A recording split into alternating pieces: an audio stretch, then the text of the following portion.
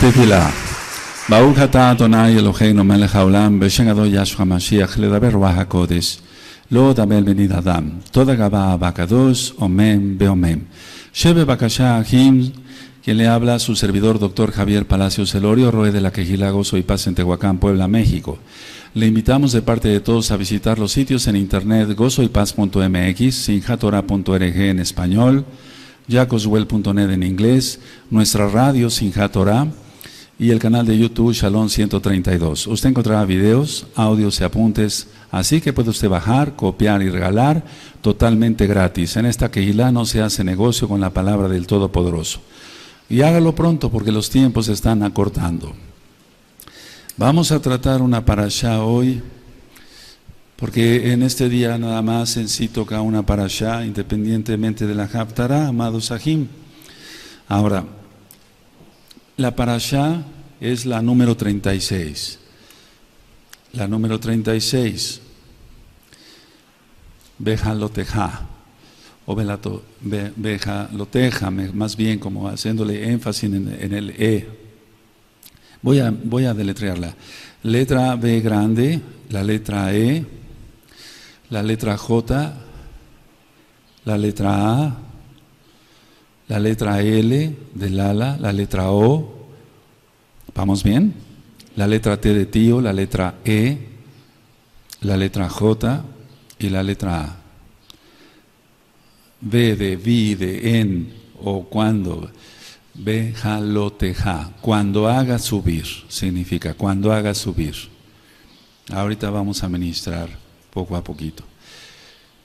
Esta parasha de Números capítulo 8, Números capítulo 8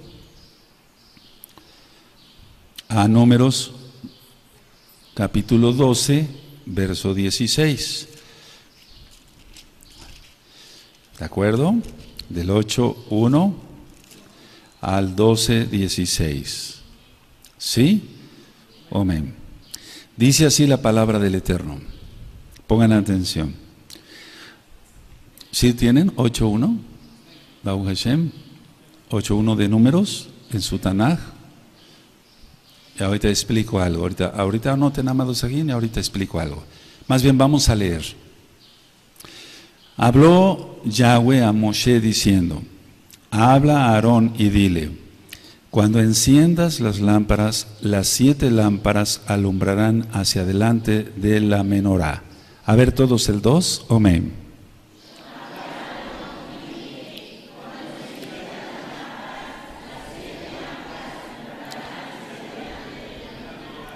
Ahora, cuando yo leí este verso, entonces dije, bueno, ¿cómo, es, cómo está? esto, porque dice, cuando enciendas lámparas, las siete lámparas alumbrarán hacia adelante o delante de la menorá.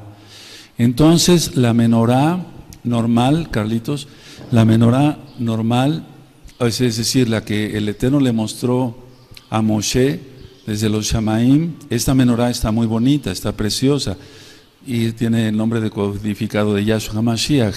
Ya he ministrado que está la letra Shim. Pero la menorá normal, las, las luces no están alumbrando hacia adelante, sino hacia arriba. No es que estemos pecando por ello, pero las lámparas de la menorá que está hablando aquí en la bendita Torah en números 8, 1, 2, no es así, no es como esta preciosa menorá. Vamos entonces a ministrar el, a qué se refiere que las lámparas alumbrarían hacia adelante, ¿de acuerdo? Bueno, entonces para eso yo conseguí este, esta, esta, digamos, esta, es, de cristal, un instrumento como de cocina, perdón, pero para ilustrar. No sé si se ve ahí bien, acá, si no me acerco. ¿Ahí se ve bien? Entonces, es este tipo de lámpara que está arriba, estaba arriba de la menorá, más o menos, y entonces está así. Si aquí viene entonces uno de los troncos de la menorá, entonces la luz alumbra hacia adelante. ¿Sí queda claro? ¿Sí? ¿Se ve hasta allá atrás? No. Sí, se ve. Entonces, esa es la idea. Ahora, fíjense muy bien. Esto tiene un significado, cuando yo lo fui leyendo poco a poquito, tiene un significado muy profundo. Porque quiere decir que la luz tiene que ir hacia adelante. El significado, mira, nosotros nos ponemos a orar. Tú te pones a orar, te encierras en tu talit, oras, ayunas y el Eterno nos habla. Es así de sencillo, ¿verdad? Amén. ¿Sí? No se trata de copia y pega. No se trata de copiar y pegar, porque entonces algunas cosas las aprendemos de los morín, claro que sí. Entonces, a ver, la luz tiene que ir hacia adelante. Repite conmigo eso. Ahora, no repitan esto, porque si está totalmente en tinieblas, si está totalmente oscuro, no podemos dar ni medio paso, ni medio metro hacia adelante si no hay luz, porque no sabemos si hay un despeñadero. Entonces la luz va hacia adelante y representa a Yahshua HaMashiach. Hay un audio que le titulé el fuego de la menorá o fuego de contienda. Ahora vamos a poner unas diapositivas y ahorita seguimos el tema aquí.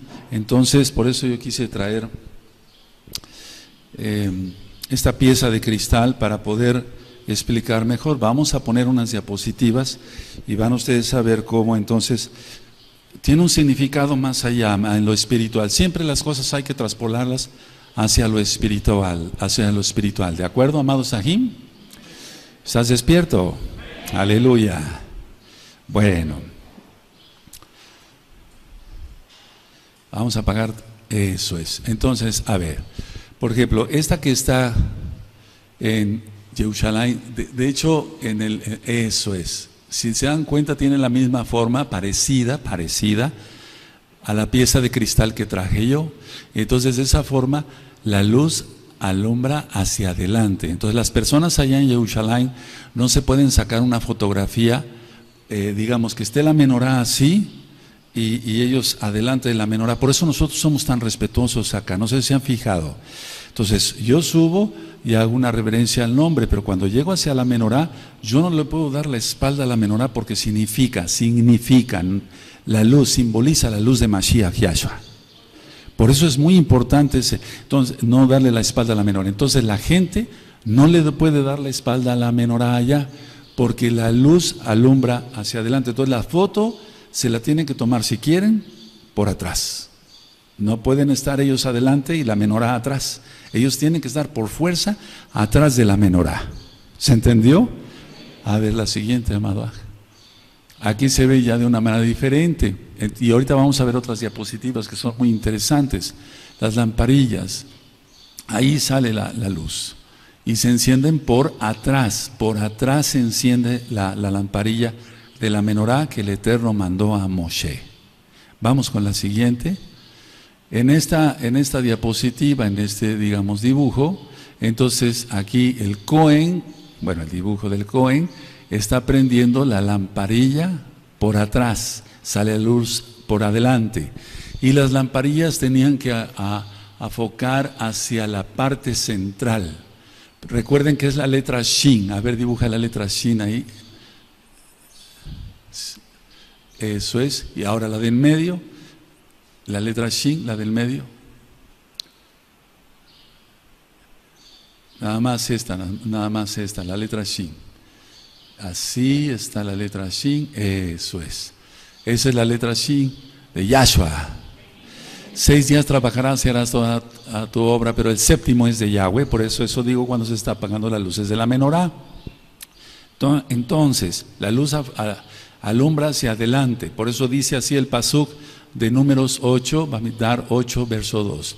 Se prenden por atrás y la gente en Jerusalén no se puede tomar la fotografía en los parques en esa menorá, estando ellos adelante. La siguiente, este es, eh, hubo un moré de la Torah de Casa de Judá que dijo que la, la menorá tenía esta forma.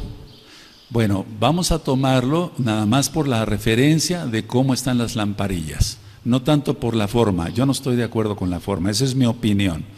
Y miren, yo soy un humilde servidor, pero ahí está la luz adelante y el Cohen tenía que prenderlo por la parte de atrás. Por eso dice ahí, la luz alumbrará hacia adelante. A ver, repitan eso. La luz. Jacob. Eso, aquí vemos otra. Entonces, la, la, idea es esta, miren la forma de, la, de las lámparas. Así es el original, el original, el original.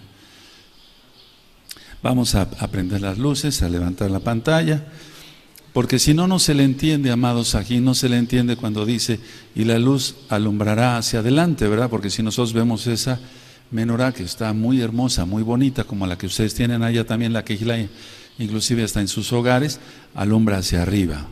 Pero la luz debe de ir hacia adelante porque tiene un contexto totalmente espiritual. Bendito es el abacados. Amén. Bueno, ahora. Es decir, que, que en sí la, la menorá aquí como la tenemos alumbra hacia todos lados. De hecho, también la menorá, que la luz alumbra hacia adelante, también alumbra hacia todos lados, pero lleva una dirección, hay un porqué, lo vamos a ver. Bendito es el abacados. Entonces volvemos a leer el 2, habla a Aarón y dile, cuando encienda las lámparas, las siete lámparas alumbrarán hacia adelante de la menorá. A ver todos otra vez para que quede bien grabado en sus mentes. Amén.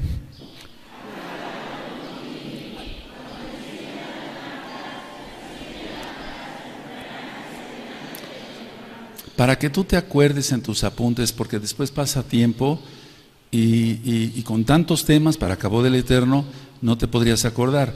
Ponle ahí en forma de tetera, o sea, cuando se prepara el té es como si fuera una tetera, digamos, en forma de tetera, digamos, ¿sí? Entonces ahí salía la llama. Amén. Es bonito aprender, ¿verdad? Porque muchas veces tú y yo, yo soy el primero, yo soy el primero. Yo muchas veces leí este verso y yo no le entendía, la verdad. ¿Cómo que va a ver, las siete lámparas alumbradas hacia adelante de la menorá. Pero es que en realidad es así. Ahora, entonces, esta es la parte donde se encendería y esta es la parte donde saldría la llama, la luz. Omen, or en hebreo. Bueno, hacia el frente, hacia adelante, no son como las que usamos ahora. Ahora vamos a ir un poquito hacia adelante. El 8.5 al 7. También Yahweh habló a Moshe diciendo, toma los levitas de entre los hijos de Israel y haz expiación por ellos. Esto ya lo habíamos platicado en otra parasha. Así harás para expiación por ellos, rociar sobre ellos el agua de la expiación y haz pasar la navaja sobre todo su cuerpo y lavarán sus vestidos y serán purificados. A ver, todos 5 al 7, amados. Amén.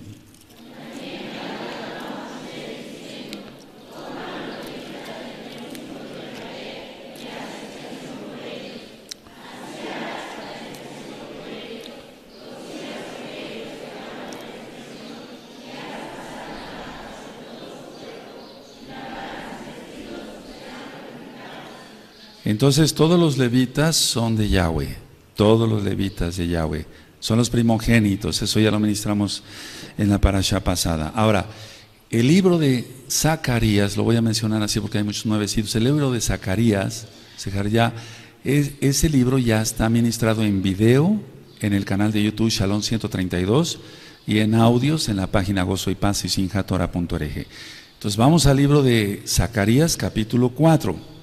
Ya está ministrado todo esto, nada más vamos a dar una especie de, repaso, de vistazo para que... Entonces apunta en tus apuntes, valga la redundancia, Zacarías 4. Porque algún día no sabemos si el Eterno nos, nos eh, eh, haga perseverar juntos, es decir, unidos en el Ruach, sí, en el Baja pero no sabemos si vamos a perseverar juntos cuando ya se suelte la gran tribulación en pleno, entonces que tú tengas tus propios apuntes y que tú enseñes a otros que vendrán a los pies de Yahshua HaMashiach. Amén. Zacarías 4. Volvió, si lo tienen? Volvió el malá que hablaba conmigo y me despertó como un hombre que es despertado de su sueño y me dijo, ¿qué ves? Y respondí, he mirado aquí una menorá, todo de oro, con un depósito encima y sus siete lámparas encima de la menorá ¿Se dan cuenta? Siete lámparas encima de la menorá, porque, a ver, vuélvame a ver, porque están así. Aquí está, digamos, el tronco y la, lamparilla está así. ¿Sí? Arriba de la menorá. Es que si, se, si no se entiende 8 o 2 de números, no vamos a entender acá. y entonces con un depósito encima y sus siete lámparas encima de la menorá. Entonces, ciertamente es de una sola pieza, como se lo indicó Yahweh a Moshe, ¿de acuerdo? Y siete tubos para las lámparas que están encima de él.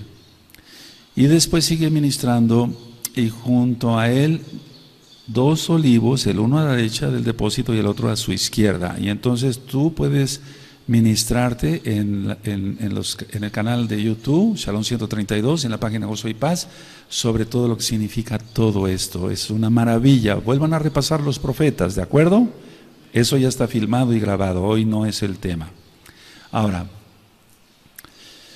vamos a ver que las lámparas en sí se, se refiere a los ojos, cuando se dice, bueno, y, y tiene muchos ojos, pero se refiere realmente a la luz, a la luz de la menorá. ¿De acuerdo? ¿Sí? Bueno, a ver, vamos otra vez a números y vamos armando el tema un poquito más mejor, así más completo. en la Tanaj, entonces, ustedes van a buscar eso porque ya, está ministrado. Los ojos de Elohim. Y, de ahí se han agarrado los jesuitas, masones, Illuminati para, decir el ojo que todo lo ve, pero esto es K2, recuerda que las copias de Hasatán son más que, no son más que baratas y menos todavía, ya eso Hamashiach le reprenda. Entonces cuando dice muchos ojos se refiere a las luces de la menorá. Cuando, se, cuando tú le veas así, y muchos ojos se refiere a las luces de la menorá. Luces de la menorá, ¿de acuerdo? Y eso significa eternidad en cuanto, más bien en cuanto los seis, eh, los siete milenios y la eternidad del ocho, pero nosotros no hacemos menorá ni, de ocho, ni de nueve, ni de diez, ni de nada, nada más de siete. Aleluya. Que los macabeos triunfaron sobre los griegos, sí, eso es historia y es real, etcétera, etcétera, pero nosotros menorá de siete, nada más, como está en la Torah, nada más. Bueno, ahora, es muy importante lo que voy a ministrar. Bueno, todo es importante. Dice Yahshua que la lámpara, eh, o sea, que el ojo es la lámpara del cuerpo. Anótalo. El ojo es la lámpara del cuerpo. Nosotros somos mesiánicos. Meshihim, creemos en Yahshua como el Mashiach y él es Elohim. Porque no pudimos ser rescatados por sangre humana. Aleluya para que se entienda, así, así voy a hablar un poquito medio, por sangre divina, pues, fuimos comprados.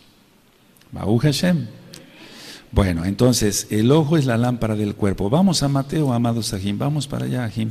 Gócense cada vez que tú te ministres en la Torah, gózate, gózate, gózate, porque aprendemos todos los días aprendemos de los ancianos, aprendemos de los mismos sajín, cuántas veces han entrado ustedes a la oficina y, nos gozamos y tú me enseñas eh, algunas cosas y yo te enseño otras cosas y así nos vamos retroalimentando. Mateo, Matillahu 6, verso 22. Cuando lo tengan me dicen un amén, por favor. Mateo 6, verso 22, amén. La lámpara del cuerpo es el ojo, así que si tu ojo es bueno, todo tu cuerpo estará lleno de luz. Aleluya. A ver, todos el 22, amén.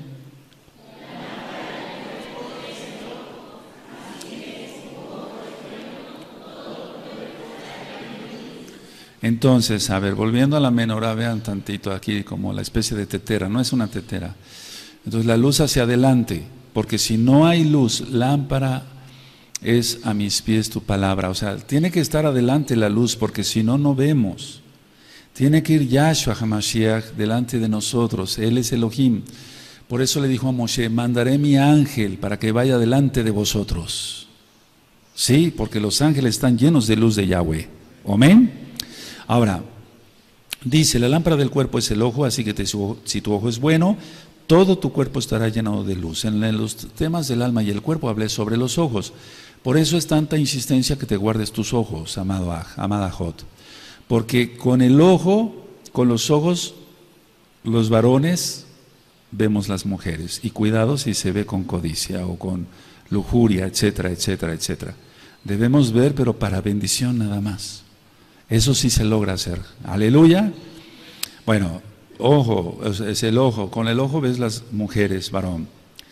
Con los ojos vemos el dinero. El dinero. ¿Y por qué estoy diciendo esto? Porque si no nos guardamos los ojos, caemos. es que lo primero es ver. Y entonces se desea, se codicia y se peca. Porque el ojo va a despertar mil pasiones o de lujuria o de querer más dinero, etcétera, etcétera. Con el ojo se ve el alcohol. La gente ve la botella de alcohol y se le antoja ya servirse más de dos botellas. Entonces, con el ojo se ve la droga. Sí se va entendiendo. Vayan anotando esas ideas porque después ustedes van a ser maestros. Hay que ser maestros. Aleluya, aleluya, aleluya. Esa es la función de acá. Estás en una yeshiva. Estás en un lugar cómodo para aprender. Eso quiere decir yeshiva. O yeshiva. ¿De acuerdo? Sí, estás en un lugar cómodo para aprender. O estás incómodo. ¿Quieres tu nieve de limón? No, ahorita no, después. Entonces, a ver, con el ojo se ven las mujeres, se ve el dinero, se ve el alcohol, se ve la droga, se ve un automóvil, se desea, se codicia, etc. Yo no digo que sea pegado tener un automóvil, la cosa es que todo sea en el plan de Elohim. Yo no veo como pecado ver eh, así, ver el dinero, sino la cosa es que se codicie y que se quiera más para perdición. No, eso no. O si, y, sobre todo, mal habido el dinero, no debe de ser eso. Por eso Yahshua Hamashiach dice, la lámpara del cuerpo, y tú eres una menorá, eres templo del Eterno, del Rahakodis. Es el ojo, así que si tu ojo es bueno, todo tu cuerpo estará lleno de luz. Esa es la forma de ser bautizados en el Rahakodis.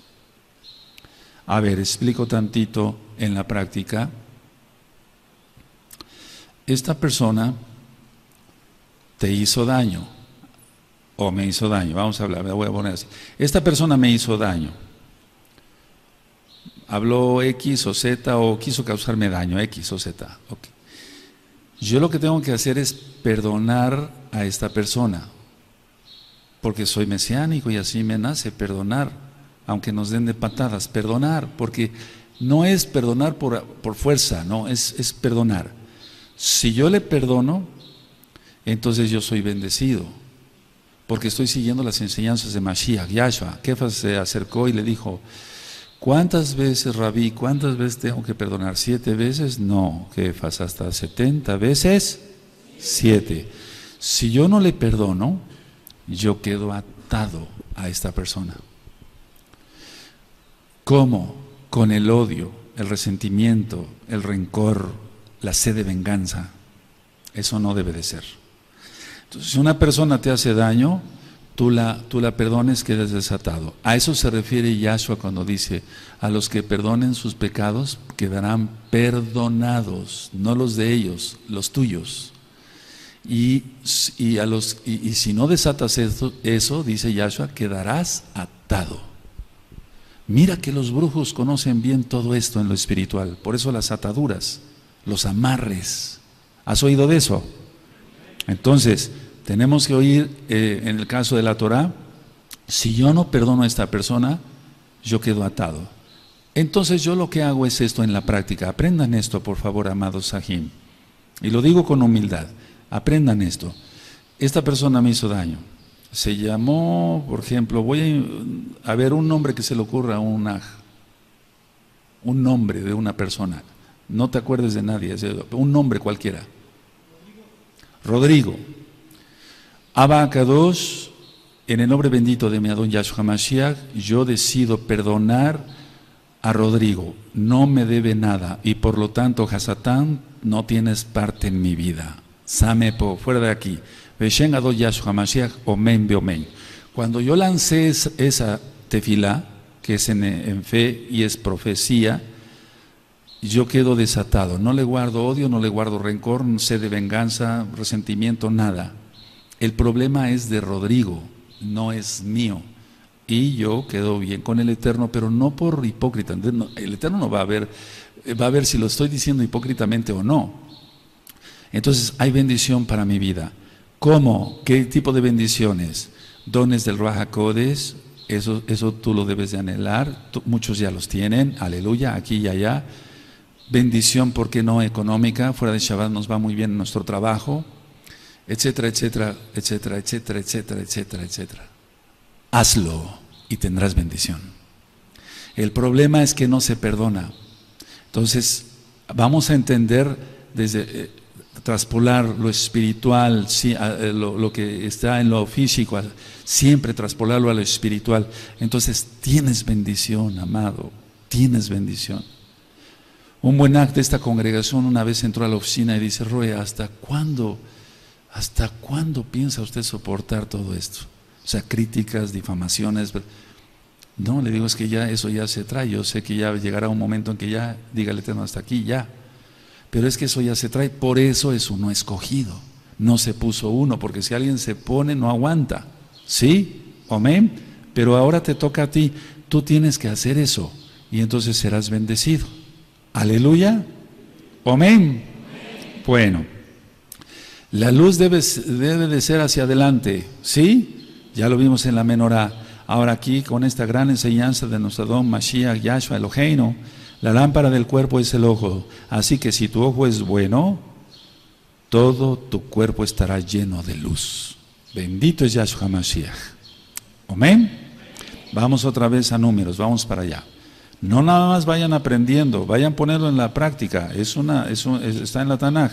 No quiere oidores, sino hacedores de la bendita Torah. Bueno, el 9 y el 10. Recuerden que en el 8-7 se les hacía pasar navaja a los levitas para consagrarlos de Hasdik. Entonces, a ver, ¿por qué se les hacía pasar navaja? Voy a ministrar eso. Hacía harás el 7, hacía harás para expiación por ellos, rocea sobre ellos el agua de la expiación y haz pasar la navaja sobre todo su cuerpo y lavarán sus vestidos y serán purificados. Es un simbolismo después de la espada de dos filos. La navaja, aunque nada más tiene un solo lado, pero de todas maneras corta, igual que la Torah. ¿Sí? Entonces era como si se pasara la Torah por todo su cuerpo para, para remover toda inmundicia. Vamos a suponer, perdóname la expresión, se me viene esto ahorita a la mente. Si alguien tuviera alguna costrilla por ahí, una costrita o algo, la navaja lo barre todo. ¿Sí? Entonces los levitas tenían que estar totalmente limpios. Navaja igual a Torah, ponle si quieres en tus apuntes. Simbolismo de la Torah, la navaja. ¿De acuerdo? Aleluya. Y entonces estaban bendecidas sus almas. Y esas almas tenían que estar totalmente limpias. Las, el cuerpo y las almas de los levitas tenían que estar totalmente limpios porque ellos eran la luz, llevando la luz de la Torah. Ellos eran los encargados de, con los Juanín, de, prender la menorá, ¿de acuerdo? ¿Sí? recuerda que vienen de Aarón. Entonces, a ver, ¿cómo está esto? Si un alma está sucia, ¿cómo podrá limpiar a otra?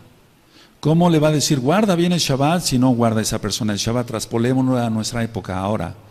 ¿Cómo le puede decir, guarda la santidad, guarda tus ojos, no veas a las mujeres, guarda, guárdate, tienes esposa, honra a tu esposa, bendícela? ¿Cómo le va a poder decir eso si él no lo hace? Por eso es el significado de la navaja, pasar la navaja sobre todo su cuerpo, todo, todo su cuerpo. ¿De acuerdo? ¿Qué es la navaja? Simbolismo de quién, de qué? De la bendita Torah. ¿Para qué? Para que estuvieran limpios todos sus cuerpos. Es un simbolismo de que así estaban sus almas porque ellos iban a ministrar Torah. Ellos iban a bendecir al pueblo, ellos iban a poner sus manos así, los cuanín iban a bendecir al pueblo, bendito es el abacados. ¿Cómo iban a bendecir al pueblo teniendo las manos sucias de pecado? No, eso es imposible. Ahora, vamos a ir al verso 10. A ver, el verso 10 dice, y cuando hayas acercado a los levitas delante de Yahweh, pondrán los hijos de Israel sus manos sobre los levitas. A ver, todos el 10. Amén.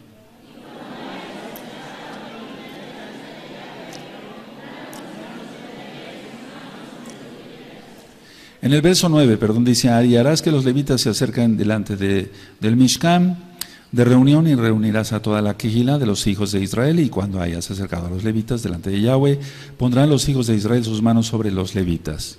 Ahora, aquí estamos viendo que hay un intermediario, ponle así. Se me ocurre esa palabra, perdóname, tal vez no, no, no sea lo más adecuado, pero sí es lo que es en cuanto a la palabra. El levita es un intermediario, no es un intercesor. Es un intermediario. Porque la gente les llevaba, los Bene Israel les llevaban las ofrendas, pero ellos, los, levitas, ya lo vimos, eran los únicos que podían hacer sacrificios. Ya lo vimos, ¿de acuerdo? No el pueblo, porque el pueblo pecó. Perdos, todos los primogénitos, primogénitos perdón, perdieron su primogenitura y por eso tenían que ser rescatados. ¿Sí recuerdan esa para allá? ¿Sí? Ahora, entonces, a ver, miren, el levita es un intermediario, entonces llegaba con el cordero, etcétera, las palomas y ya intervenía entonces el levita. Aquí hay algo que me llama mucho la atención. Dice, y harás, el 9, y harás que los levitas se acerquen delante del Mishkan de reunión y reunirás a toda la Keilah de los hijos de Israel. Y cuando hayas acercado a los levitas delante de Yahweh, pondrán los hijos de Israel sus manos sobre los levitas. Todos los hijos de Israel, todos los hijos de Israel harían eso. No, los primogénitos nada más. Anota.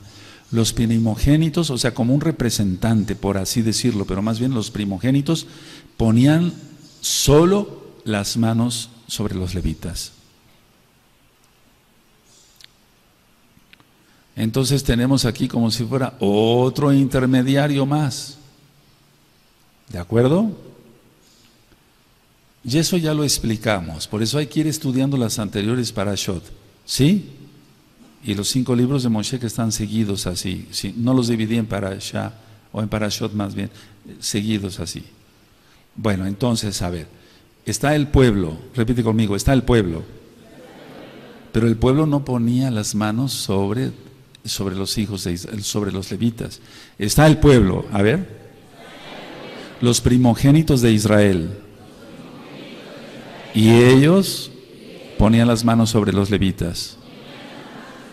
Entonces, como una especie como si el primogénito fuera un intermediario entre el pueblo y los levitas, y el, levita entre el pueblo y Elohim.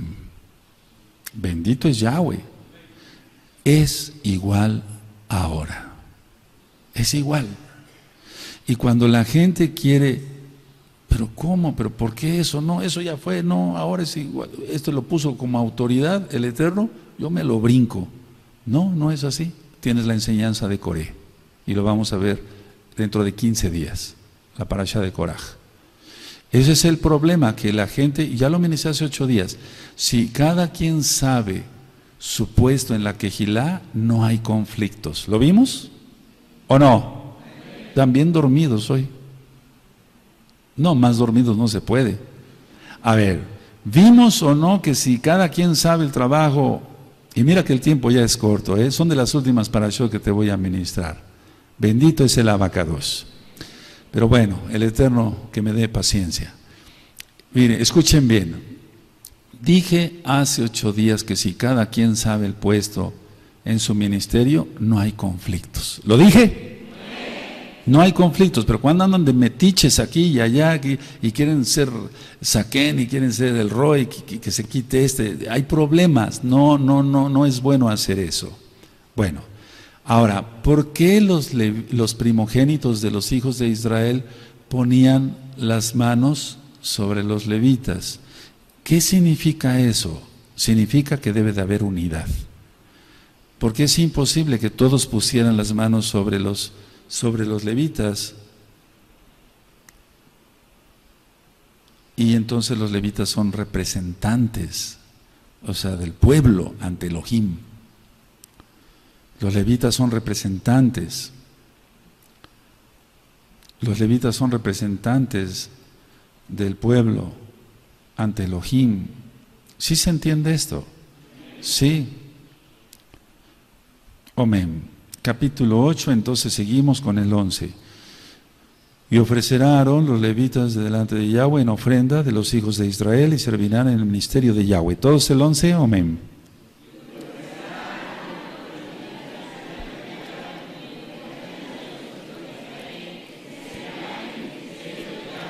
Ahora, algunos hermanos como este A que me decía, este buen A me decía, ¿hasta cuándo piensa usted soportar todo esto, Roe? O, cómo está esto. No sé si fue la forma que, como me lo dijo, pero me lo dio a entender así. Ahorita lo vas a entender, Aj. Ahorita lo van a entender. Dice 11, y ofrecerá Aarón los levitas de delante de Yahweh en ofrenda de los hijos de Israel y servirán en el ministerio de Yahweh. Y los levitas pondrán sus manos sobre las cabezas de los novillos, y ofrecerás el uno por expiación y el otro en holocausto a Yahweh, para hacer expiación por los levitas. Y presentarás a los levitas delante de Aarón y delante de, los, de sus hijos. Esto ya lo leímos en una parasha, pero estamos viendo esta parasha.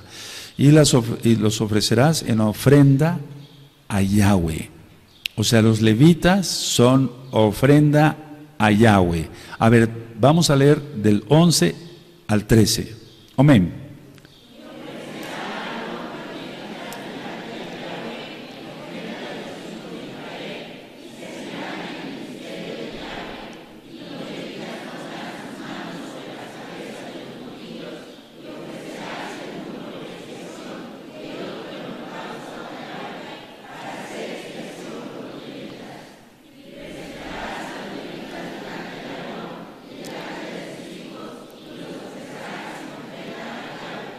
Ahora, fíjense muy bien el, el, 14. Así apartarás a los levitas de entre los hijos de Israel y serán míos los levitas. Así apartarás a los levitas de entre los hijos de Israel y serán míos los levitas. El 14 todos, amén.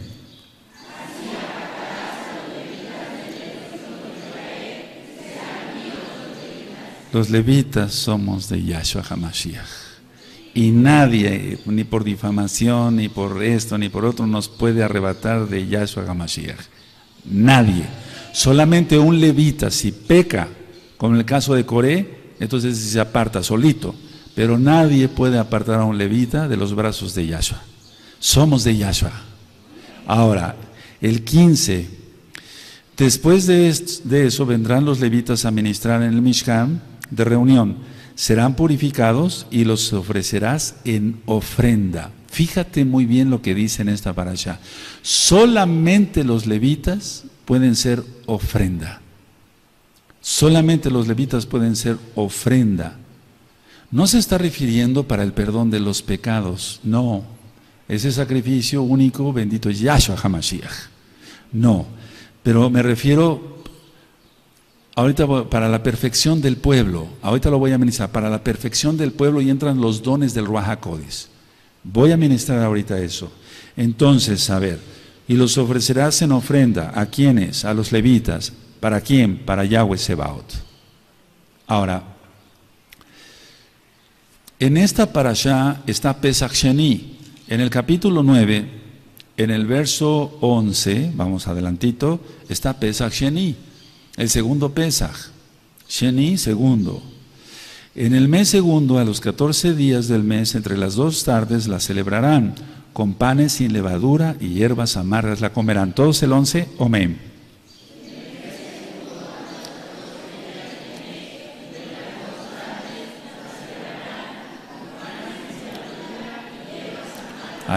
Aleluya, ahí está Pesach Sheni. En esta parasha están las dos trompetas de plata. Números capítulo 10.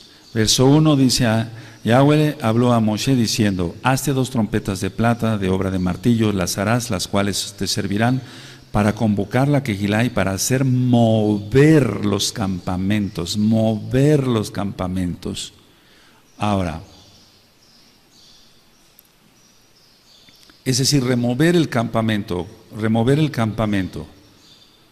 Cuando nosotros hacemos tefilá, los varones con nuestro talit, y nosotros hacemos como hace Casa de Judá, bendito sea el Abacadosh, y estamos haciendo esto, estamos haciendo una inclinación, estamos meciéndonos nosotros mismos como ofrenda ante el Eterno. O bien hacer las manos así en tu tefila. Eso es lo que se enseña acá. Entonces, ve, ve, anotándolo. Nosotros somos ofrendas mecidas. Pero ¿cómo? Nos consta que venimos de la tribu de Leví. Una cosa, el Eterno no restauraría el Mishkan caído de David con la tribu de Shimeón, ni con la tribu de Isahar. El Eterno utiliza levitas para levantar Mishkan y entonces las tribus vienen y adoran a Yahweh. ¿Se entiende? Sí se entiende. Es que por eso no hay duda cuando alguien está consagrado, etcétera, de qué tribu viene, si viene de una tribu o de otra. Eh, ya se ha ministrado, no sabemos de qué tribu venimos, pero por las características, si alguien es usado para levantar Mishkan y etcétera, la menorá va a ser aquí, las mesas de Shabbat acá, vamos a hacer esto acá, lógico que es un levita, lógico, porque el Eterno no utiliza, por así decirlo, em, levitas o no levitas para levantar Mishkan, aunque, pongan atención, aunque cuando yo dije de los dones, ahorita vamos a entrar para allá. Uno que venga de la tribu de Benjamín puede ser, no levita, pero sí puede ser una ofrenda a Yahweh. Alguien que venga de la tribu de Zabulón no es un levita, pero puede ser una ofrenda a Yahweh. Ya vamos para cosas más profundas. Dijimos que íbamos a estudiar la Torah más profundo. ¿Recuerdan? Amén. A ver, vamos a, entonces, cuando tú haces tefilá, estás ofreciéndote a Yahweh. Estamos ofreciendo exaltación, ya lo vimos, la, la ofrenda de Jalel. ¿Se, ¿Se acuerdan? Sí, sí. Ahora vamos a Filipenses, vamos para allá. Muchos varones fueron ofrenda y no venían de los levitas. Vamos para allá, Filipenses. Bendito es Yahshua Mashiach. El tiempo es corto, amados Sajín. Filipenses 2, verso 17. Aquí está hablando Shaul.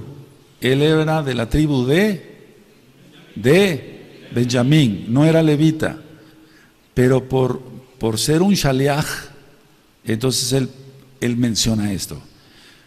Filipenses 2.17, y aunque sea derramado en libación sobre el sacrificio y servicio de vuestra fe, me gozo y regocijo con todos vosotros. A ver todos, el 17, amén.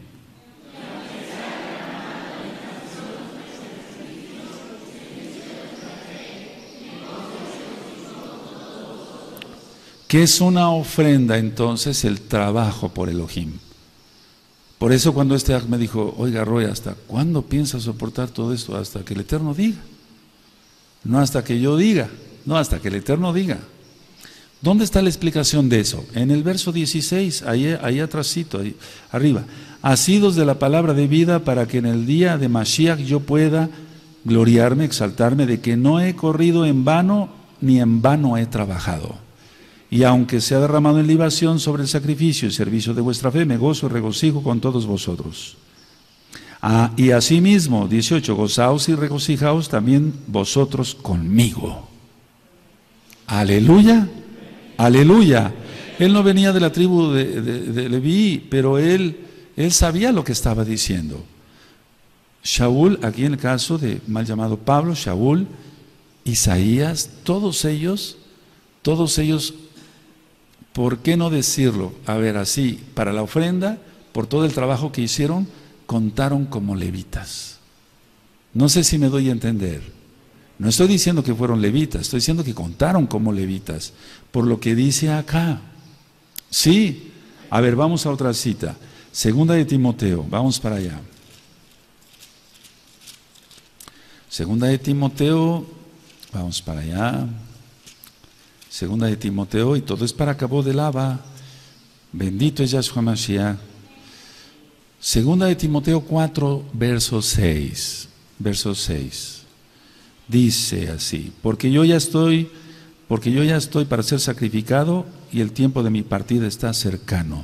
¿Por qué no dijo, yo ya estoy listo para que me maten o para ser muerto o para que me degollen por medio del hacha? No, para ser sacrificado. Subraya ahí. A ver, todos el 6, amén.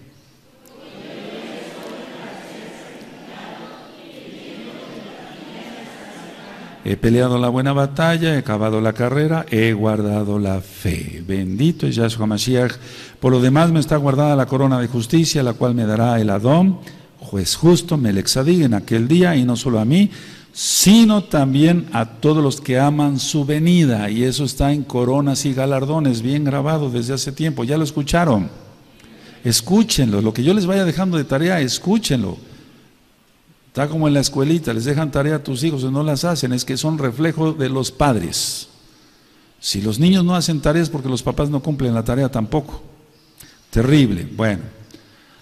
Entonces ellos eran, eh, en el caso de Shaul, aquí estábamos viendo, estoy listo para ser sacrificado, etcétera. Pues, si, si, quieren rociarme como libación, cuando se hace una libación de aceite, o, como en el Bet Hamidah, libación de aceite y libación de vino. Esa gente hermosa de Yahweh estaba dispuesto a todo. Y nosotros, quejándonos por todo, no es posible. Por eso les digo hace ratito en un inicio, la casa de Israel todavía no está lista para la boda y la boda se está aproximando ya. La boda se está aproximando ya. Vamos al libro de números otra vez para seguir en la... Eh, estamos en la parasha. Amén. Vamos a números 8. 8, bendito es el abacados. Entonces los levitas son de Yahweh. Sí, somos de Yahweh. Ahora, cuando le manda, eso lo vimos en los sacrificios y las ofrendas, el 8.12. Y los levitas pondrán sus manos sobre la cabeza de los novillos y ofrecerás el uno por expiación y el otro en holocausto. Ya lo expliqué eso cuando la parasha Itro, ¿recuerdan? a Yahweh para hacer expiación por los levitas. A ver, todos el 12 para recordar. Amén.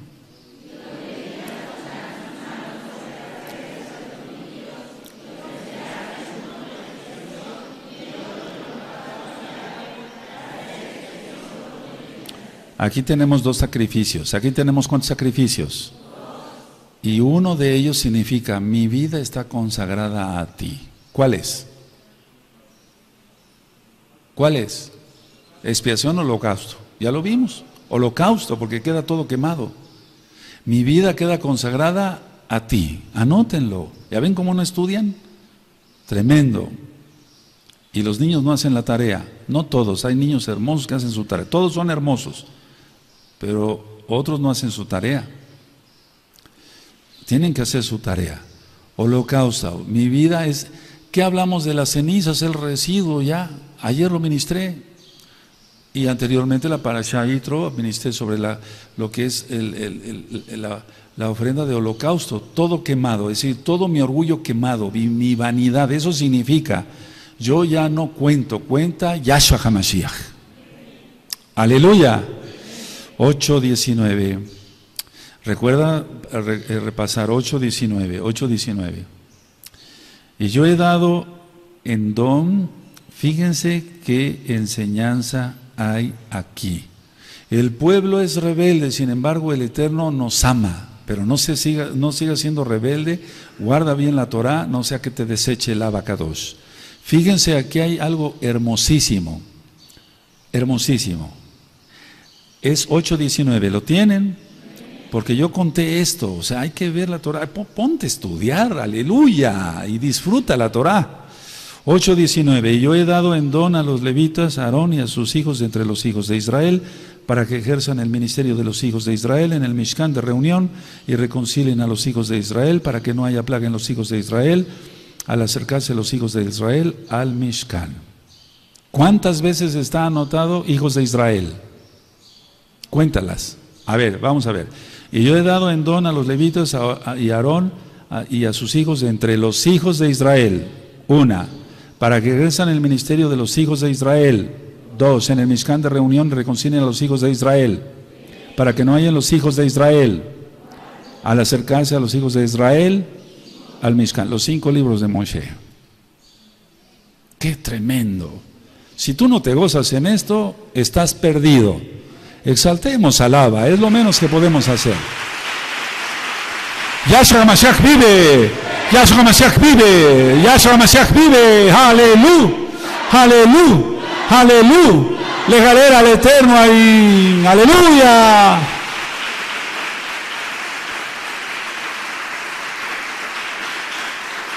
Ahora, ¿por qué los menciona tantas veces? Porque sí, por los cinco libros de Moshe. ¿Cuántos nudos tenemos en, los, en, el Talid, en los Sipsiot? Cinco, cinco libros de Moshe. Ahora, ¿por qué los menciona tanto? Anota, los menciona por amor, por ser sus hijos, nada más. Los menciona por amor, por ser sus hijos. Anoten la frase completa, por favor. ¿Ya lo terminaron? Ahora anota esta frase, punto y aparte. En su mente de Elohim están los hijos de Israel.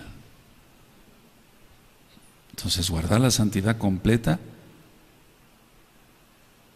En su mente de Elohim están los hijos de Israel.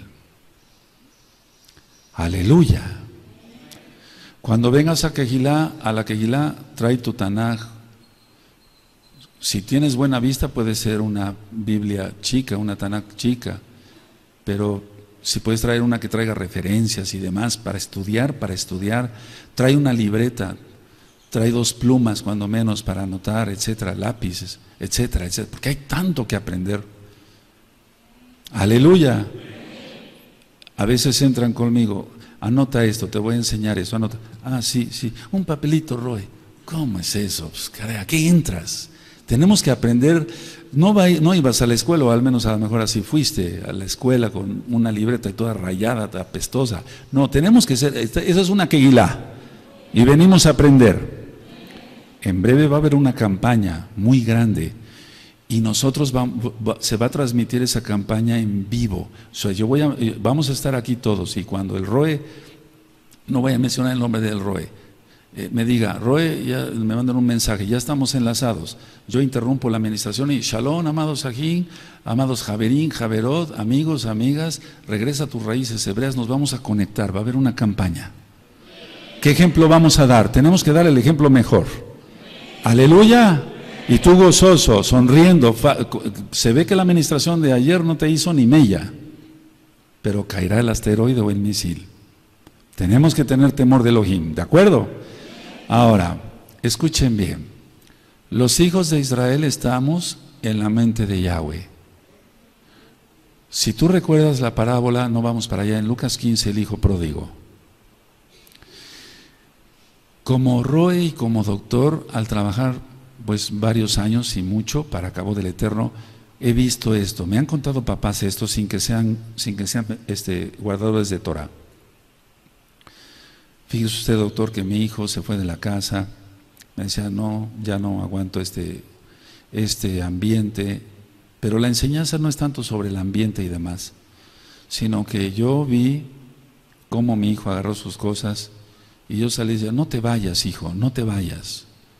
Vamos a componer todo esto. No, ya no aguanto, este es un hogar del infierno, etc. No te vayas. Y entonces dice, estoy hablando de papá, no de mamá. Y, esto, entonces el, el papá dice que salió y vio cómo su hijo se fue por la banqueta de una calle. Lo he oído cientos de veces esto, amados. Y entonces me dice el papá llorando, dice, doctor Palacios, yo vi a mi hijo hasta que se me perdió de la vista y sus lágrimas del papá por haber sido un mal papá, porque ningún hijo se va de la casa si hay un ambiente precioso. Pero en alguna ocasión, fíjense esto, cómo la parábola del hijo pródigo va, es algo hermosísimo, porque un papá, bueno, de tantos que me han contado esto, dice, pero algún día recibí una llamada. Papá me viene a trabajar a los Estados Unidos, bueno, lógico, se fue de ilegal, y voy para allá, voy para allá, quiero regresar a casa, quiero abrazarte, quiero pedirte perdón. Y entonces fíjense, el papá dice, pero ¿cuándo llegas, hijo? No sé, salgo hoy, pero no sé cuándo llegar. Pero si Dios me ayuda, dijo el hijo, llegaré. Y el papá, no es un cuento esto, ¿eh? son experiencias diarias, aleluya. Y entonces el papá salía todos los días y se asomaba por una banqueta o por otra del lado de la calle a ver si ya venía su hijo. Salía a mediodía, salía en la noche. Y entonces algún día salió y recibió una llamada antes, dice, ya voy llegando. Entonces el papá salió y dice, así como lo vi partir y hasta que se me perdió de la vista, así lo vi venir. Desde que se veía así chiquito, digamos, la figura del hijo, hasta que abracé a mi hijo y lloramos juntos. Esto enternece, ¿o no? Así Yahshua HaMashiach nos vio partir. Nosotros somos la descendencia de Israel y fuimos esparcidos entre las naciones. Pero Él en su interior sufriendo como Padre. Yo te lo aseguro porque es uno de los atributos del Eterno. El primero es el amor. Y entonces así nos vio hasta que se perdió de la vista el Hijo pródigo. Pero así nos vio al regresar. Ahora escucha bien la lección y abrázala. Él nos vio y te vistió, te vistió y ahora le exaltas así ya estando en casa. Estás loco. Tienes que nacer de nuevo y aprender a adorarle como Él se merece. Porque Él nos vio, y no estoy faltando el respeto a nadie, si alguien se pone el saco mejor. Él nos vio hasta que nos perdimos de su vista y nos dio a comer cerdo y nos, nos, quitó el Shabbat y las fiestas. Está en las dos casas de Israel, está en, en Oseas, ¿recuerda? Si recuerdan eso. Pero Él nos vio, Él nos vio, por eso nos rescató. Él nos vio cuando estábamos en la misma inmundicia y por eso nos rescató. Nos vio cuando estábamos en lo más lejos. Repite eso. Igual que este papá, y este papá no sabe de las dos casas de Israel, los papás que me han contado no saben de las dos casas de Israel, ¿qué van a saber del libro de Osea?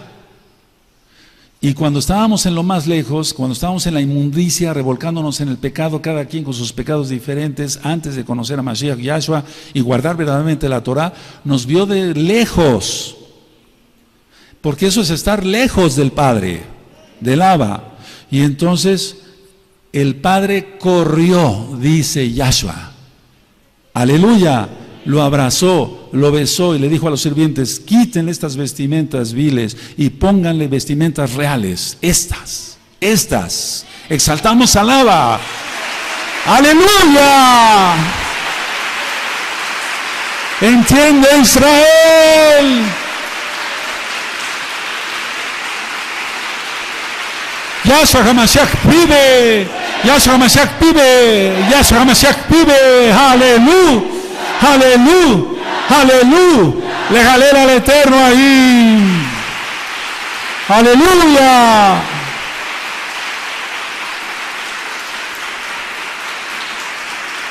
Bendito es el abacados. Por eso somos importantes para Él.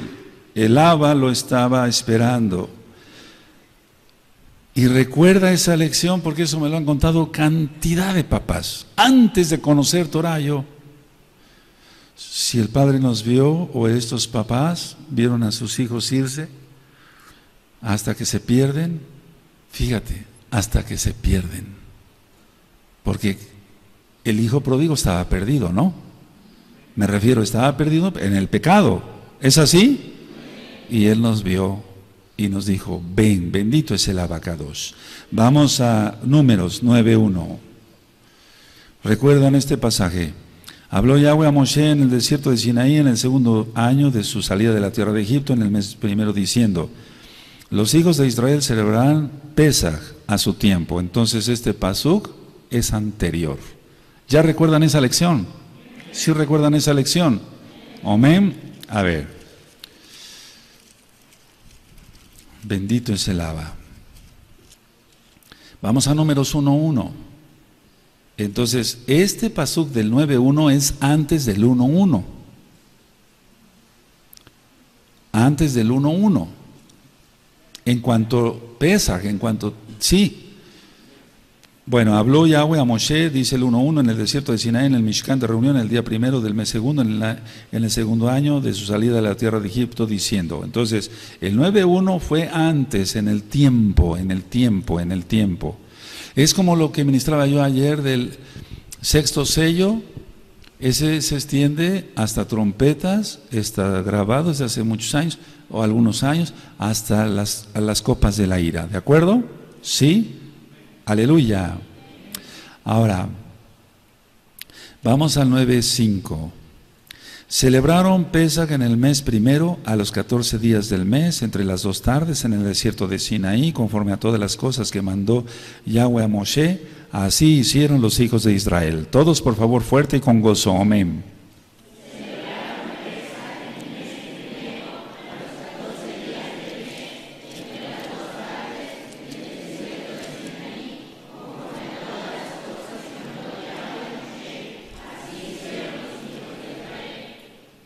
Vamos al libro de Josué capítulo 5, verso 2. Josué 5, verso 2. Vamos para allá, amados Sajín, con gozo, con fuerza. Son los últimos Shabbatot. Si te caigo mal, de en breve ya me dejarás de ver. No te preocupes. Pero para los Kadoshin, aprendan, aprendan y siguen, síganse ministrando, gócense. 5.2. En aquel tiempo Yahweh dijo a Josué, hazte cuchillos afilados y vuelve a circuncidar a la segunda vez a los hijos de Israel. Y, Joshua se hizo cuchillos afilados y circuncidó a los hijos de Israel en el collado de Aralot. ¿Todos el 2 y el 3? Amén.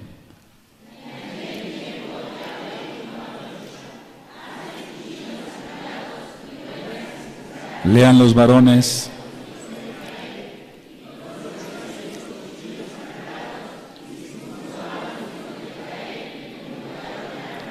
Aquí todos fueron circuncidados, anoten eso, todos fueron circuncidados. De hecho, celebraron Pesaj una sola vez en el desierto. Con tantas quejas y tanto rebelde, ¿cómo iban a estar celebrando, verdad? No es porque no. Después explicaré eso. Todos fueron circuncidados. Ahora, en la actualidad cualquiera quiere ser rabino, quiere ser roe, quiere ser, etcétera. Cualquiera quiere ser líder, pero el líder tiene que enseñar muchas cosas. Anoten esta lección. El líder no es el que ordena. El líder no es el que ordena, amado Sahim. Yo sé que hay Kadoshina aquí, Kadoshot. Y que le dices a tus hijos, cumple con la tarea como yo cumplo con ella. Pero otros no pueden decir lo mismo. El líder no es el que ordena, sino enseña cómo se hacen las cosas. ¿Por qué? Porque las hace, ya las hizo. El líder no es el que ordena, sino que enseña cómo se hacen las cosas. ¿Es así? Sí, es así. Entonces tu papá Tú tienes una gran responsabilidad porque eres líder y el Eterno te va a reclamar si tu hijo, tú dirás que no, si tu hijo hace o no la tarea. Te lo va a reclamar. Tienes maestros y maestras. Se está aprendiendo hebreo, te lo va a reclamar. Nos está dando todo en charola de plata, como decimos. Nos lo va a reclamar a todos. Bueno, entonces el líder no es el, muchos que dicen, yo quiero ser Roe, etcétera no, no es así, no es así, o quiero ser esto, o quiere ser lo otro, no es así, no es así. Tenemos que entender eso, no es así, aleluya, no es así, es como lo manda Yahweh.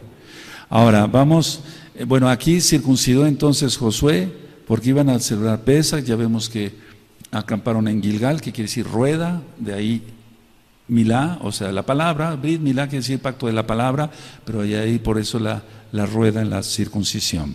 Bueno. Ahora, vamos al 9, vamos a seguir aprendiendo más cosas profundas, ¿de acuerdo? 9.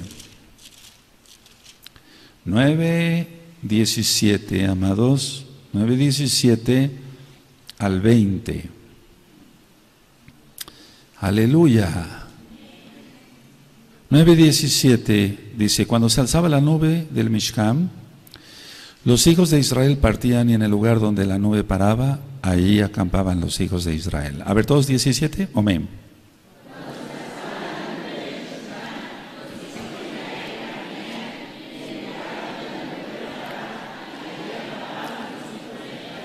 Dice el 18, al mandato, Él es el que manda, subraya, al mandato de Yahweh los hijos de Israel partían y al mandato de Yahweh acampaban. Todos los días que la nube estaba sobre el Mishkan permanecían acampados. Todos otra vez, eh, todos el 18, amén.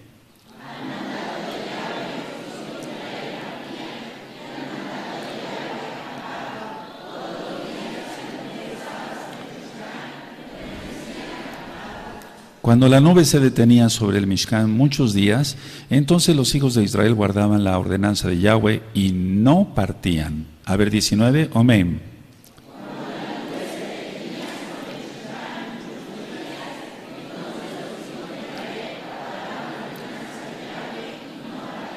Veinte, y cuando la nube estaba sobre el Mishkan pocos días, al mandato de Yahweh acampaban y al mandato de Yahweh partían. Veinte, amén.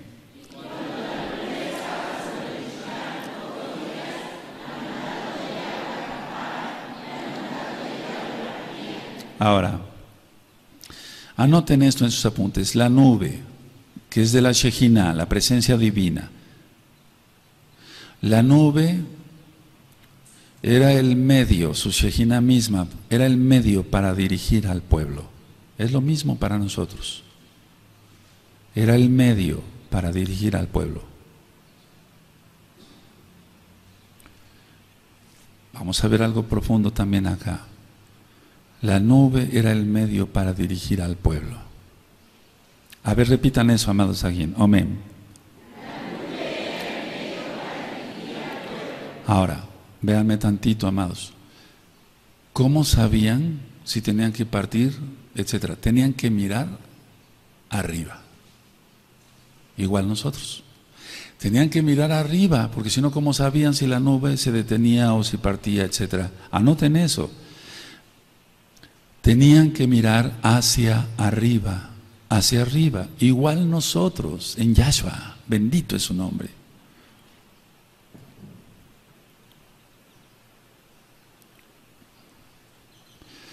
Vamos a Lucas 21. Anoten, anoten la, la idea. Lucas 21. Con la administración de ayer, creo que bueno, muchos ya estamos mirando hacia arriba desde que nos consagramos. Bendito es el abacados. Desde que decidimos dejar el pecado y abrazar la bendita Torah de Yahweh. Otros todavía siguen titubeando y viendo las cosas del mundo, quebrantando Shabbat, quebrantando las fiestas, etcétera, etcétera. No. Pero yo sé que hay Kadoshim, ellos serán muy bendecidos y guardados. Y las Kadoshot igual, aquí y allá. Tú que estás todavía dudando y viendo hacia las cosas terrenales, mira hacia los Shamaim. Lucas 21. Si lo tienen, 28.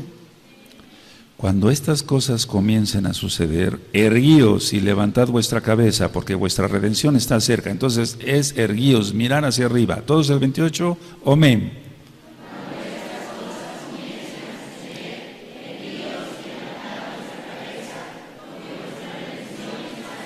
Ya no hay tiempo, bendito es Yahshua Mashiach. Mateo, vamos hacia Mateo, amados, vamos a Mateo, vamos a Mateo. Mateo 6, 33. Niño que no haga la tarea, niño que se sale de la escuela con todo y su papá por ese portón. Aquí se viene a estudiar. ¿O haces lo mismo en la escuela secular? Claro que no. Aleluya. Tenemos que entender que esta es una quejila bien conformada. El que no quiere estudiar, que se vaya. Porque el que no estudia no se santifica. Dice Yahshua, escudriñad las escrituras porque os parece que ahí tenéis la vida eterna. A ver, repitan eso.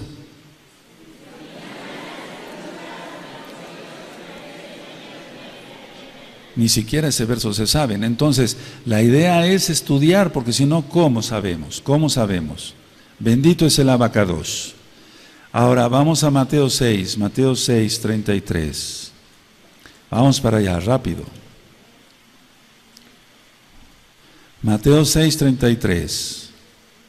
Y me va a dar un reporte las, las maestras, la Jotsesi, etcétera, Todas las maestras van a dar un reporte. ¿Qué niño no hace la tarea? Vámonos, para afuera, con todo y su papá. Porque el papá es el líder y él está fallando. Dice eh, Mateo 6:33, mas buscad primeramente el, el Madhut Hashamain y su justicia, y todas esas cosas os serán añadidas. A ver todos, amén.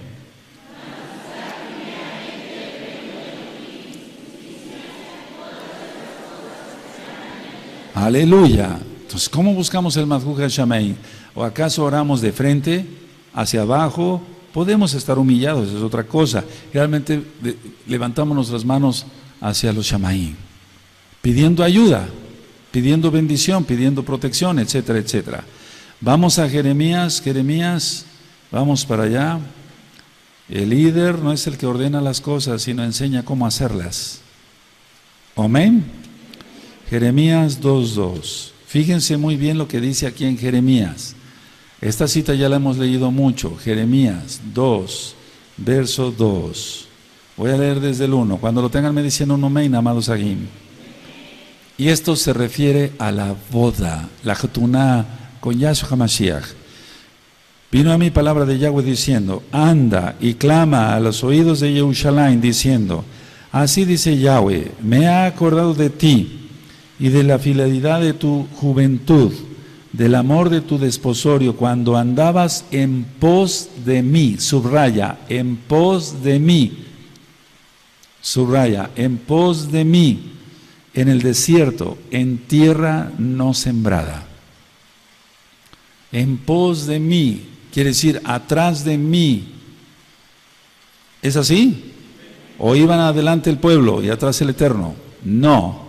Ahora véame tantito y esta es la enseñanza del principio. La luz hacia adelante. Tu ojo bueno para que todo tu cuerpo esté lleno de luz. La luz hacia adelante, la luz hacia adelante. Repite conmigo, la luz hacia adelante. Y mi ojo bueno para que todo mi cuerpo esté lleno de luz. Dice Yahshua HaMashiach. Así es. Y esto se tiene bendición. Recuerden lo que yo les dije. No quedes atado a la gente. Perdona, sea un verdadero mesiánico, una verdadera mesiánica. Sigue las enseñanzas de Yahshua. Bendice a la gente. Aleluya. Aunque te hayan hecho mucho mal. Anda y clama a los oídos de Jerusalén diciendo, el verso 2, así dice Yahweh, me he acordado de ti, de la fidelidad de tu juventud, del amor de tu desposorio, cuando andabas en pos de mí en el desierto, en el desierto, es la parasha que estamos viendo, en tierra no sembrada. Entonces la nube iba adelante, y ellos seguían la nube. Claro, les cubría, pero adelante más la nube. ¿Se entiende? Aleluya. Ahora, Yahshua, voy a preparar morada, adelante, adelante, Él, adelante, porque Él es el Abba. Voy a preparar, preparar morada, Él, adelante. ¿Y nosotros qué estamos haciendo? Él se fue a preparar morada. A él lo crucificaron, lo colgaron del madero, lo golpearon, le jalaron la barba, lo desangraron. Él se preparó para la boda. ¿Tú ya estás preparado? Yo, ya estoy preparado. ¿Ustedes están preparados, amados Aguim? ¿Cómo exaltamos? ¿Te das cuenta? Estamos tan lejos. La casa de Israel todavía no está conformada. No, no, todavía no está conformada. En pos de mí significa eh, atrás de mí. Entonces la caboz la gloria, para que se entienda, va adelante. Anótenlo así, amados. Si quieres ponerle gloria, no hay problema tanto por las palabras. Estamos llenos de palabras paganas cada vez que decimos, si decimos toda Gabá, pero ¿cómo le dices a los goyim? Gracias, y eso ya vimos que eran unas diosas. ¿Sí o no?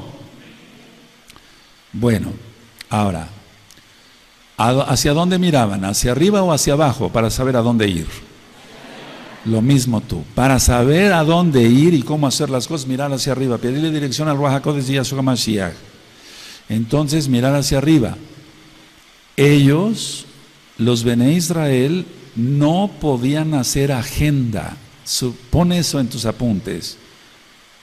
No podían hacer agenda porque no sabían en qué momento iban a partir o en qué momento iban a detenerse. Ellos no podían hacer agenda. No. Ahora, la enseñanza para nosotros, amados Sagim. véanme tantito, por favor. Nosotros debemos de hacer planes. E, es decir, agendamos las cosas, pero siempre decirle, será si es tu voluntad. Estamos haciendo muchos planes para las fiestas, etcétera. ¿Las celebraremos acaso? ¿Tenemos acaso la certeza de cómo nos hemos comportado que el Eterno va a guardar el edificio? Aleluya. La nube se movía, dice la Tanaj, la Torah, partían. La nube, la nube se detenía, ¿qué hacían ellos? Ellos se detenían. Ahora, te voy a decir una cosa, para los que estamos ya consagrados, apartados, yo sé que hay Kadoshim, Kadoshon aquí y allá, pero hay gente que todavía está tambaleando. Para los que estamos apartados, somos iguales que ellos. Nosotros nos dirigimos solamente por Yahweh no por nuestra concupiscencia, eso ya quedó apagado, más que apagado, está más abajo de, del piso. Y escuchen el audio, la concupiscencia. Ellos no podían hacer agendas, ya lo anotaste.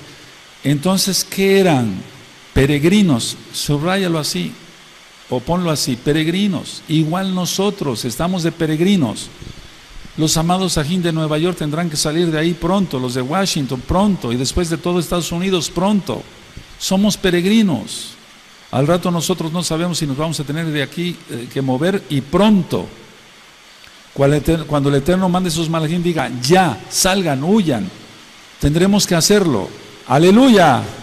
Y no estar viendo cosas si nos conviene o no. Que sea el Eterno. Ahora, ¿qué enseñanza da esta para allá? Anótalo. La vida que no sea tan planificada porque si no entonces se cae en un extremismo. La vida no tan planificada, tenemos que planificar las cosas, pero no tan, tan, tan, tan planificada.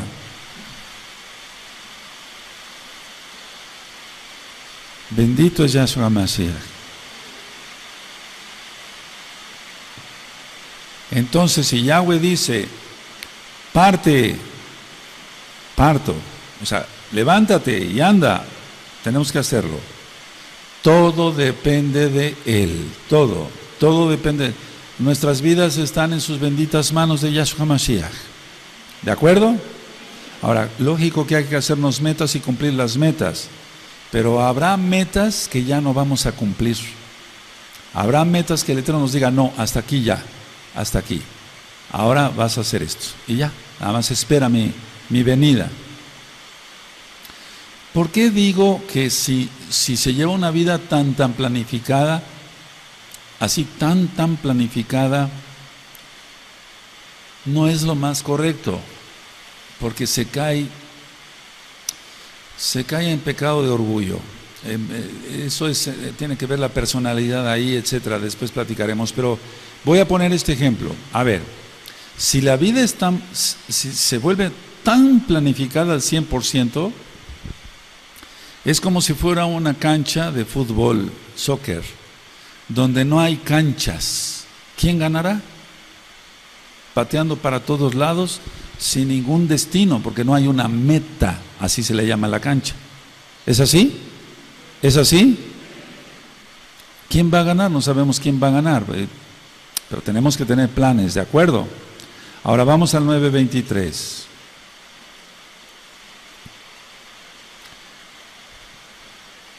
Y no caer en el extremo de no tener planes para nada, de ni siquiera hacer la tarea, imagínate, qué grave está eso.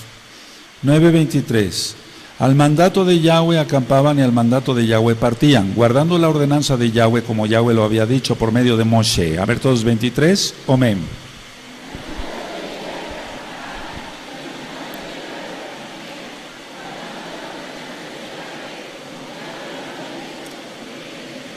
Ahora, en números 10, que es parte de esta parasha, están las dos trompetas de plata. Anoten esto nada más, el shofar, hecho por el Eterno. Porque los hermanos le sacan el hueso, lo liman, ya vimos todo eso en una administración, eso está en los apuntes de shofar, de shofar, en los apuntes en la página gozoypaz.mx, encuentran esos apuntes, amados Sahim. Está hecho por el Eterno, la trompeta de plata, Aunque la plata la hizo el Eterno, la trompeta como tal está hecha por el hombre, elaborada más bien, elaborada por el hombre. ¿Eso qué significa? El Eterno quiere que seamos copartícipes, y está en la Tanaj, con Yahshua HaMashiach. El Eterno quiere que seamos copartícipes. ¿Está esa, esa palabra en la Tanaj? ¿Sí? En el reino de Yahshua HaMashiach, para reinar con Yahshua HaMashiach en el milenio. Shevarim. ¿Cuántos sonidos son? No contesten los adontoqueas. ¿Cuántos sonidos son Shevarim? Alguien que me diga. Ahora una adontoquea con voz fuerte. ¿Cuántos toques son? Tres cortos. Tequía. No contesten los adontoqueas. Continuo. Y ese toque significa soberanía. Anótelo, tequía. Significa soberanía.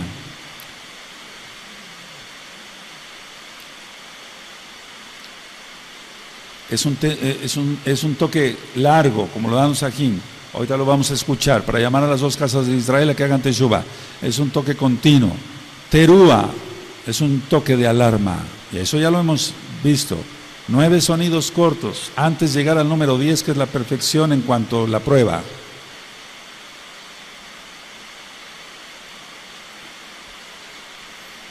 Ahora, pongan atención, pongan atención.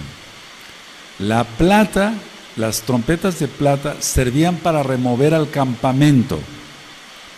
Se juntará el toque del shofar con el toque de la trompeta de plata de los Shamaim para remover el pueblo y rescatarlo. En Natsal, el arrebato post-tribulación. Aleluya. Aleluya. El Eterno no va a quebrantar su palabra. Bendito es el abacados. Ahora, he ministrado que nosotros somos un shofar. Nosotros debemos de tocar, que salga sonido limpio de nuestros labios, nunca maldición y la shonjara, sino bendición, bendición, bendición, bendición. Eso ya está grabado y filmado. Déjenme nada más ver aquí el verso 10. 10, capítulo 10 de números, verso 10. Y en el día de vuestra alegría, Sinja, y en vuestras solemnidades y en los principios de vuestros meses, tocaréis las trompetas sobre vuestros holocaustos y sobre los sacrificios de Shalom, y os serán por memoria delante de vuestro Elohim, yo Yahweh vuestro Elohim. Verso 11. En el año segundo, en el mes segundo, a los 20 días del mes, después del censo, la nube se alzó del Mishkan del testimonio, y partieron los hijos de Israel del desierto de Sinaí, según el orden de marcha, de marcha, porque somos soldados de Yahshua, y se detuvo la, se detuvo la nube en el desierto de, de, verso 13, partieron la primera vez al mandato de Yahweh por medio de Moshe. Ahora fíjate muy bien lo que dice el siguiente verso. La bandera del campamento de los hijos de Judá comenzó a marchar primero por sus ejércitos y Nazón, hijo de Aminadab, estaba sobre, su cuerpo de ejército. ¿Te acuerdas de Nazón? Ministré que cuando se abrió el mar rojo, pero antes de que se abriera el mar rojo, él fue el primero que se lanzó. No sé si recuerdan eso, pero por fe, aquí está, que fue otra vez el primero. Y entonces, no se abría el mar todavía, pero sabía, Moshe tenía mucha fe, pero Nazón también, tenía mucha fe y cuando estaba a punto, dice la tradición judía verdadera, de llegarle el agua a la boca, al cuello, como decimos, se abrió el mar. Bendito es Yahshua Mashiach. Aquí está Nazón. Porque hay muchos cabezones que luego me... No, no está. ¿De dónde sacó eso? Etcétera. Aquí está. Aquí está. Hay que estudiar. Hay que estudiar. Aleluya. Cierra tu Tanaj. Abacados, toda Gabá por tu palabra, toda Gabá porque tú eres bueno y tu rajen para siempre. Toda Gabá por esta administración, bendito Yahweh Sebaot. Toda Gabá, Yahshua Mashiach, porque estás despertando a tu pueblo, Abba, y tú quieres que cumplamos bien las mitzvot de la Torah. Abba, toda Gabá, deja tus cosas, deja, cierra tu Tanag y ponte de pie, amado Aga, Madajot. Toda Gabá, Yahshua Mashiach, por la grandeza de tu Torah. Sin ti no somos nada, Abba. Toda Gabá, porque nos bendices con enseñanzas cada día. Abba, se tocará el shofar para mandar a llamar en tu bendito nombre, bendito Abacados, las dos casas de Israel y que vengan a tus pies.